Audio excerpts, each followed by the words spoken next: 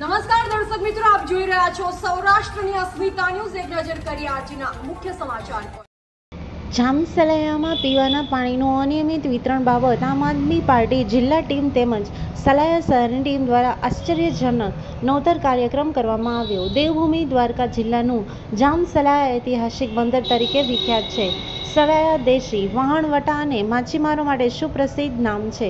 સલાયાની સાઠ હજાર જેવી વસ્તી જ્યારે વીસ વીસ દિવસ સુધી પાણીની રાહ જોતી હોય, તો આનાથી મોટું તંત્ર માટે એક પણ શરમજનક બાબત ન હોય તેવું લાગે છે. જ્યારે સરકારે મોટા મોટા દાવાઓ કરીને હર નર સે જલ યોજનાનો મોટા મોટા પ્રચાર કરતા હોય ત્યારે સલાયાની જનતા વીસ દિવસ સુધી પાણી માટે ટળવળતી હોય. અમારે આજે ન છૂટકે સલાયા નગરપાલિકા ઓફિસ સામે પાણીના ઊંધા માટલા રાખીને તંત્રની આંખ ઉઘાડવાનો એક નમ્ર પ્રયાસ કરવામાં આવ્યો હતો. ગુજરાતની બધી જ નગરપાલિકાઓમાં એકાંતરે પાણી વિતરણ થતું હોય તો અમો સલાયા ગ્રામજનોનો શું વાંક? અમારા પ્રત્યે જિલ્લા તંત્ર અને સરકારનું ઓરમાયું વર્તન કેમ? સલાયામાં વીસ દિવસે પાણી આવતું હોય ત્યારે ગરીબ લોકોએ પાણી સંગ્રહ કરવા માટે યોગ્ય વ્યવસ્થા ન હોય તેમજ પાણી પણ તેટલું જ આવતું હોય જે વીસ દિવસ સુધી ચાલે.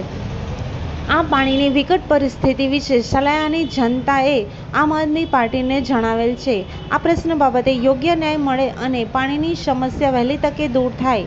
તે રીતે આયોજન કરીને આ પ્રશ્નનું નિરાકરણ આવે તેવી રજૂઆત આમ આદમીના પ્રમુખ આમીનભાઈ સુભાણિયા સાથે અનવરભાઈ ભાયા, નજીરભાઈ સુભણિયા, હારૂનભાઈ સંઘાર જુનસભાઈ ભગાડ સબીરભાઈ ભોકલ, ઉમરભાઈ સુભણિયા, શબીરભાઈ કઠિયારા વગેરે હોદ્દેદારો જોડાયા હતા અને સલાયાના આમ આદમી પાર્ટીના હોદ્દેદારો અને કાર્યકર્તાઓએ રજૂઆત કરી હતી.